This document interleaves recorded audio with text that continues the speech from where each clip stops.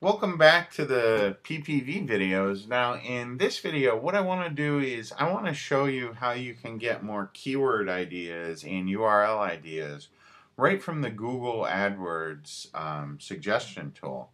So what I want you to do is you're going to want to go to Google and just do a search for Google external AdWords tool.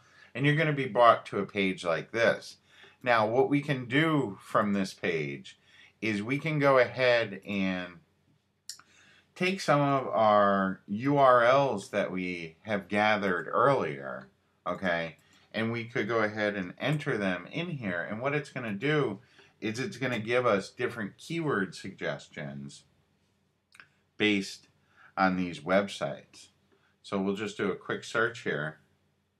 And you can see what happens is when we enter in this website address, what it's doing is it's giving us all kinds of different keyword ideas.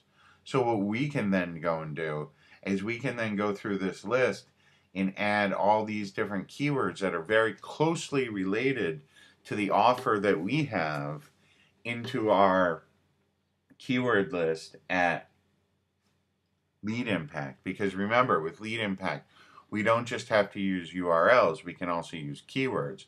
So what we can do is we can start up a whole new campaign based just on keywords. And I'll go ahead and I'll show you how to do that just a little bit. But as you can see, what we want to do is these are all related to list building, which is what my product is about. So I want to go ahead and grab all these keywords. And you can go ahead and save all these keywords if you like. Okay, so the AdWords tool, it's a really cool little tool to help you get even more ideas. You can see like, I'll go ahead and punch in another website address here and we'll get, you know, some totally different, totally different um, results. Like I'll put in EzineArticles here because I basically, I'm saying, okay, I want to see what EzineArticles is about. So what it's going to do is it's going to bring me all kinds of all kinds of results that are related to the keywords on EzineArticles. And the external keyword tool, it's a really neat tool to help you come up with different suggestions for keywords.